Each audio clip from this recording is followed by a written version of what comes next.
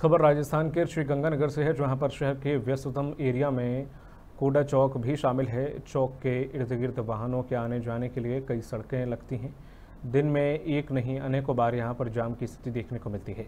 साथ ही कई भी, कोई भी वाहन किसी भी रोड से आकर इस चौक से क्रॉसिंग करता है तो जाम की स्थिति बन जाती है। इसके बाद इसका खामियाजा यातायात पुलिस को भुगतना पड़ता है। इसको देखते हुए हवलदार राम स्वरूप मीना ने जाम को लेकर अस्थायी हल निकाला और वह सफल हुआ, जिससे शहर में जाम की स्थिति से छुटकारा मिला। वहीं यातायात प्रभारी के निर्देशों से पुलिस सुबह शाम कोडा चौक से लेकर मटका चौक तक पैदल गश्त कर लोगों को अपने वाहन सड़कों पर ना खड़ा करने की समझाइश भी दे रही है।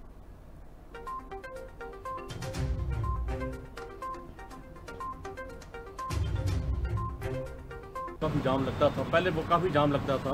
यहाँ बहुत दिक्कत आती थी, यहाँ आने जाने में और व्यवस्था में। लेकिन अब जो ये बैरिकेड्स लगाए हैं, उससे जो रास्ता एक तरफ़ हो गया है, उससे ये चीज़ बहुत कम हो गई है। ट्रैफ़िक व्यवस्था आगे से यहाँ ठीक है। आगे से काफ़ी सुधार है यहाँ।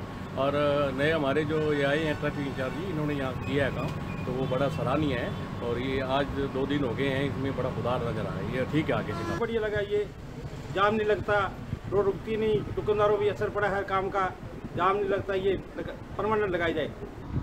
अक्सर ये सुनने में आता रहा, और देखने भी गया है, मैं शहर के भ्रमण के दौरान। कोटा चौक पर यातायात है वो लगभग चार या पाँच दिनों से एक साथ आता है, इसके कारण वहाँ जाम रहता था।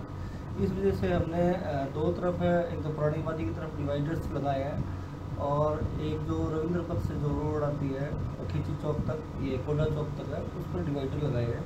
जिससे कि बसों को और अन्य साधनों को रेगुलेट किया जा सके। यातायात सुगम करने की दृष्टि से ये किया गया है। और साथ में इसी प्रकार कोडा चौक से लेकर के मटका चौक तक ज़ीरो टॉलरेंस रोड है ये। यहाँ पर यातायात व्यवस्थित करने के लिए वाहनों को हटाया गया है।